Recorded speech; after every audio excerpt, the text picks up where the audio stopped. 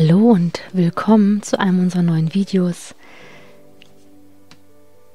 Wir nähen für unsere Kunden, groß oder klein, nähen wir ganz individuelle Taschen mit ganz unterschiedlichen Stoffen.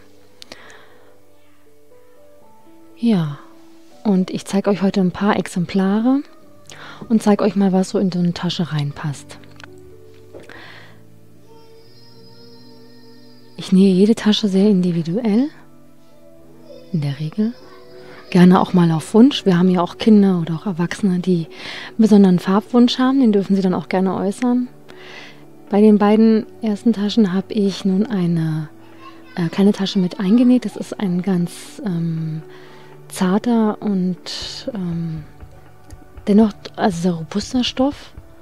Ich habe den von einem niederländischen Stoffhändler eingekauft und ist auch sehr faltenarm. Aber reiner Baumwollstoff ist es dennoch.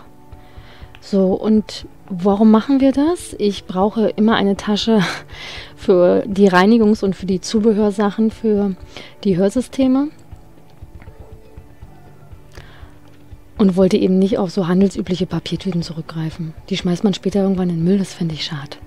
So, was passt rein? Wir brauchen für die Reinigung brauchen wir in der Regel eine Reinigungsdose, ein Aufbewahrungsetui für die Hörsysteme, Batterietester, Reinigungstücher, Trockenkapseln, eventuell zum Abhören der Hörsysteme bei Kindern oder bei Angehörigen brauchen wir auch noch ein Stetoclip oder in dem Fall eine, ein Abhörschlauch mit einer Ohrolive.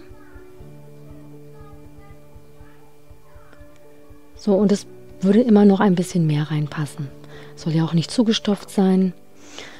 Ähm, eine Kundin hat mir letztens erzählt, sie hat das bei sich in den Schrank gehangen und ist es sauber aufgeräumt und hat das für ihren Mann an die Garderobe gehangen, sodass er immer daran erinnert wird und dass sie den Reservebereich eben im Schrank haben.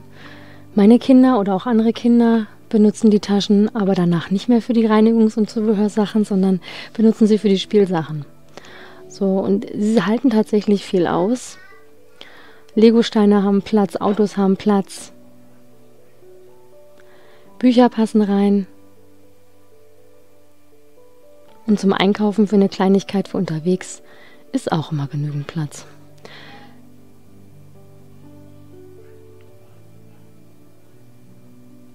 So, auch in so eine Tasche passt tatsächlich mehr als nur die Reinigung rein. Wir haben ja in der Regel auch ähm, Zubehöranlagen, Lichtsignalwecker, oder die Roger-Übertragungsanlagen mit einem Handmikrofon. Auch diese Sachen müssen natürlich irgendwo Platz finden. Und ähm, damit man sie auch bei Reiseveranstaltungen oder ähnlichen Sachen immer gut wiederfindet, haben wir uns eben für, ähm, ja, für individuelle Taschen entschieden. Und ähm, so fallen sie gerade in den Reiseutensilien immer wieder gut auf.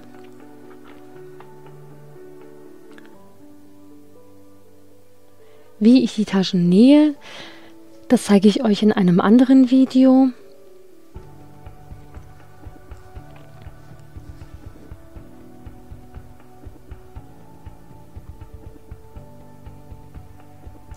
Und für die unterschiedlichen Handgrößen, wir haben ja auch Erwachsene, die größere Hände haben als ich, haben wir natürlich auch breitere Griffe genäht.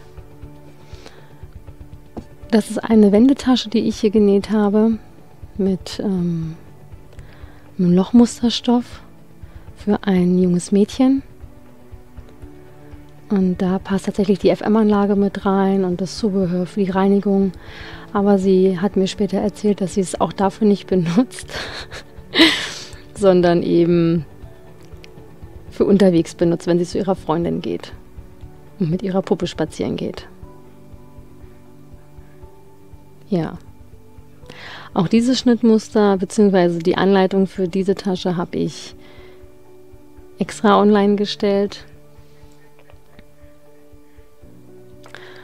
Boden, der Boden hat ungefähr eine Größe von na, 25 mal 20 Zentimetern und die Höhe von der Tasche ohne Tragegriffe ist ungefähr 30 Zentimeter.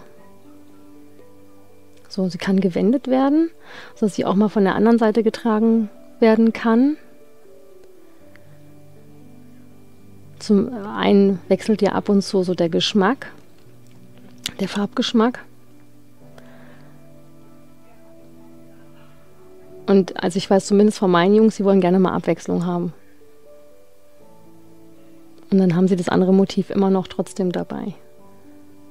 Und auch hier könnt ihr sehen, haben wir noch eine kleine Tasche mit dran genäht, weil man ja immer noch mal was Kleines dabei hat, vielleicht ein Schoko oder ein Müsli-Riegel oder eine Haarspange.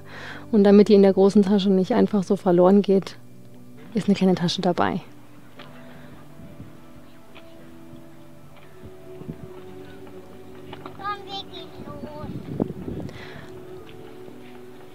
Unser Geschäft ist an der Parkinsel oder in der Nähe von der Parkinsel in Ludwigshafen. Und da führt der Rhein lang. Und wenn wir zwischendurch mal Mittagspause machen, haben wir immer mal Zeit, um ein paar Steine zu sammeln. Wir wünschen euch viel Spaß und wenn ihr Fragen habt oder Wünsche, dann meldet euch doch einfach.